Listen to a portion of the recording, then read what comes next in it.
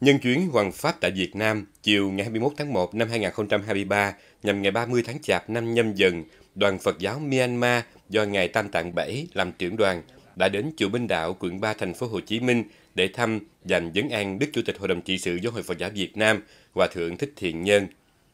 Đi cùng có Đại đức Thích Thiện Ngọc, Ủy viên phân ban Hoàng Pháp Hải ngoại, ban Hoàng Pháp Trung ương Giáo hội Phật giáo Việt Nam, trụ trì chùa Đại Phước, Myanmar.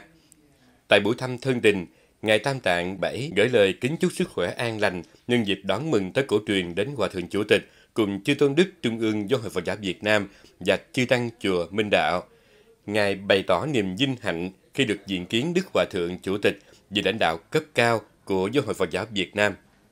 Thân mật đáp lời, Hòa Thượng Chủ tịch gửi lời cảm ơn đến Ngài Tam Tạng Đề Thất đã đến thăm trước Tết. Qua đó, Hòa Thượng Chủ tịch cũng cảm ơn Ngài Tam Tạng Bảy đã tạo điều kiện giúp đỡ về pháp lý để xây dựng ngôi chùa Đại Phước tại Myanmar. Ngôi chùa thuộc hệ phái Nam Tông Kinh cho người Việt trên đất Myanmar để có nơi tu học dành cho tăng ni Phật tử Việt Nam.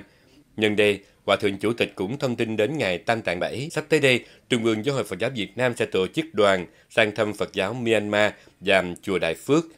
Trước thềm Xuân Quý Mão 2023, Tết cổ truyền của dân tộc Việt Nam, Hòa Thượng Chủ tịch gửi lời chúc đến ngày tan tàn Bảy, các thành viên trong đoàn cùng đón một cái Tết Việt Nam ấm no, an lành và hạnh phúc.